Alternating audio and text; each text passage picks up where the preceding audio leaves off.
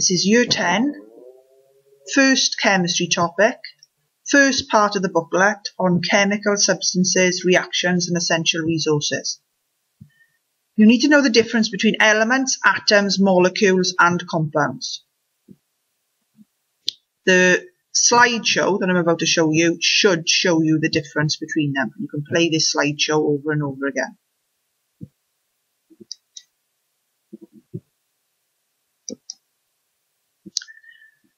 Atoms, these here, oxygen, hydrogen, carbon, nitrogen, chlorine and fluorine, they're all existing on their own. Look. They're not joined to anything, so they are atoms. They are the smallest units that make up all matter. All matter, I mean solids, liquids and gases. When two or more atoms join together, a molecule is made. So you've got molecules here on the second row and the third row. Now the atoms can be the same or they can be different. It's still a molecule.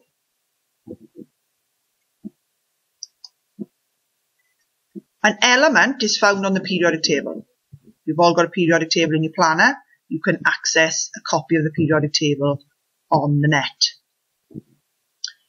Elements are contained in the periodic table. They're all listed in order they're all pure substances, so there's nothing else in them. So if I've got a block of aluminium, I've only got aluminium atoms in it. If I've got a block of rubidium, I've only got rubidium atoms in there. If I've got a cylinder of oxygen, I've only got oxygen atoms in there. They cannot be separated into simpler substances by physical or chemical means. We'll go into that later. An element only contains one type of atom. So we've only got nitrogen atoms in nitrogen chlorine atoms in chlorine. Sulfur is on your periodic table. You can find it. You should be able to find it towards the right hand side. And sulfur contains atoms of sulfur. The atoms are on their own. Now when you look at oxygen, still on the periodic table, it's an element, O. But when oxygen exists as a gas, the atoms don't like being on their own. They join together. So it's always written as O2. On the periodic table, it's just O, because that's the element it's made up of. But oxygen exists as a molecule of oxygen, O2.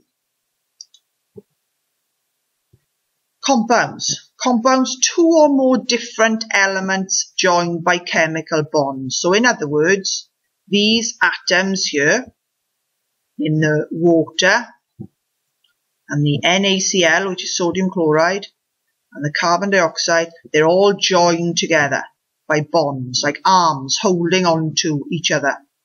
It's a molecule because there's more than one atom joined together. Made of elements in a specific ratio. What that means is water is always H2O it wouldn't be H3O2. It would always be that ratio of atoms. Two atoms of hydrogen, one oxygen. Properties of the elements have changed. If we go for water, for example, water contains hydrogen, which is a gas, and oxygen, which is a gas. But when they join together chemically, they make the liquid water and they can be only be separated by chemical means, not physical. What that means is it's difficult to separate them. You couldn't filter it or you couldn't boil it to evaporate one of the substances.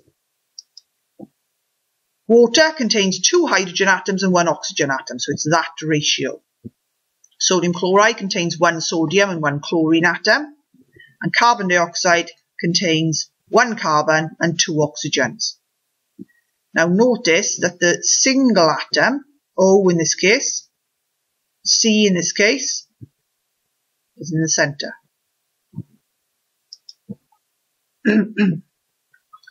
a mixture, two or more pure substances that are not chemically combined, so they are easy to separate. So you can filter them, you can evaporate them.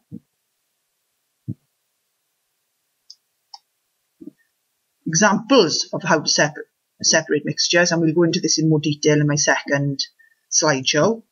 Filtering. You can see filtering here. We've all done filtering in year 7, probably year 8, definitely year 9. You've got a solid in here, an insoluble solid, which means it doesn't dissolve. And a liquid. You pour it through.